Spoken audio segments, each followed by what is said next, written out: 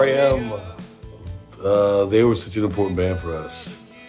I mean, every, every band has that band that was was their idols, and that was REM for us. We just, I mean, you know, I got turned on to them right in high school, and then went to college and found, you know, three other guys who liked them just as much as I did. And, and the reason we picked "Losing My Religion" to play is because we played it for years. We that was that's a song that was in our set for years. It, was just, that's REM right there. And I just remember the first time I heard it, I was being blown away.